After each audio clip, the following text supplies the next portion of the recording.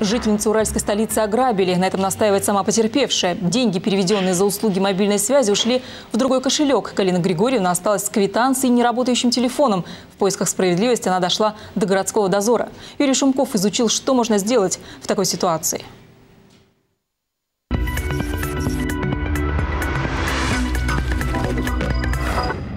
Этот терминал только на первый взгляд кажется обычным, но с недавних пор, жалуются пользователи, из аппарата по приему платежей он превратился в копилку.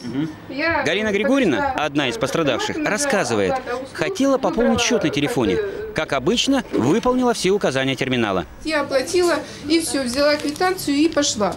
И не могу позвонить никак. Прежде такого не случалось, говорит женщина. Терминал знакомый, пользоваться им умеет, и вот на тебе. Я позвонила в терминал. Я говорю, так и так, сейчас оплатила. Они говорят, какой номер телефона.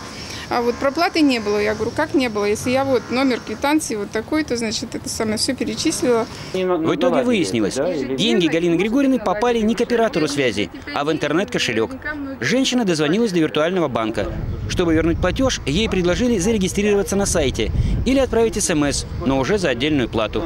Оба варианта Галину Григорьевну не устроили. Ну, в общем, в результате ни до чего. Не хотите и не надо, типа того, что деньги вам никто не вернет.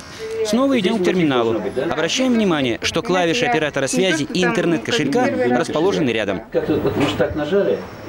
Я, Вот, видите, вот мобильный кошелек вылезла, да? я вот все время проверяю. Женщина уверяет, что с подобной проблемой столкнулись и ее знакомые. Денег им тоже не вернули. Компании по приему электронных платежей нам сообщили, что подобные случаи происходят чуть ли не ежедневно. Технический сбой в терминале невозможен. Ошибки происходят из-за невнимательности клиентов. В дальнейшем просто мы просим быть внимательным а, при оплате услуги.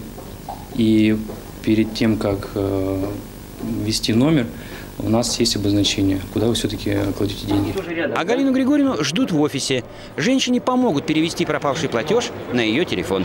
Если вы ошиблись при совершении платежа через терминал, не спешите кричать «Караул! Грабят!».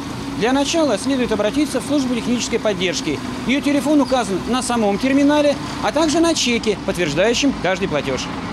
Юрий Шумков, Геннадий Бахарев, Городской дозор.